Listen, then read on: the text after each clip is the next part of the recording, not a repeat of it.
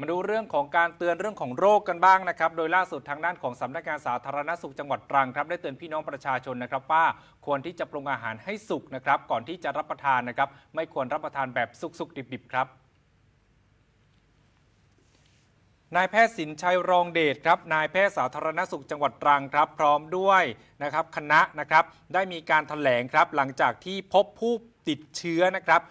เขาเรียกว่าเป็นเชื้อโนโรไวรัส หรือว่าโรคติดเชื้อทางเดินอาหาร ซึ่งเป็นโรคที่ติดต่อจากคนสู่คน ผ่านทางเดินอาหารครับ โดยได้รับเชื้อจากน้ำและก็อาหารละอองฝอย อย่างเช่น ละอองฝอยนะครับอาเจียน แล้วก็ละอองฝอยจากน้ำใน ห้องสุขานั่นเองนะครับขณะที่ราดน้ำหรือว่ากดชักโครกครับซึ่งจากการรายงานนะครับจังหวัดตรังก็พบว่ามีผู้ที่ติดเชื้อแล้วนะครับจำนวนในที่สถานศึกษาในจำนวน 2 สถานศึกษา โดยเมื่อวันที่ 25 มกราคมที่ผ่านมาก็ได้รับรายงานนะครับว่าเด็กนักเรียนในอำเภอกันตังนะครับได้มีอาการคลื่นไส้อาเจียนจำนวน 21 รายนะครับมาเข้ารับการรักษาที่โรงพยาบาลกันตัง จากอาการเนี่ยสังเกตนะครับพบว่ามีอาการอาเจียนเป็นหลัก แล้วก็อาการท้องเสียเป็นรอง คาดว่าสาเหตุน่าจะมาจากเชื้อ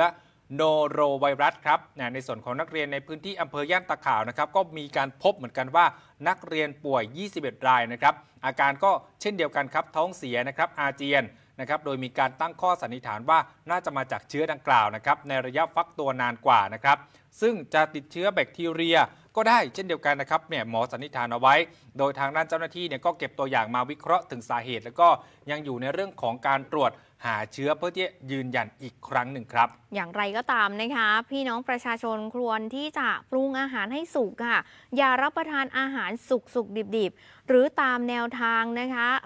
กินแบบว่ากินร้อนช้อนกลางล้างมือค่ะ ก่อนรับประทานอาหารก็ให้สะอาดเรียบร้อยซะก่อนนะคะ เพื่อเป็นการป้องกันการติดเชื้อโรคทางเดินอาหารค่ะ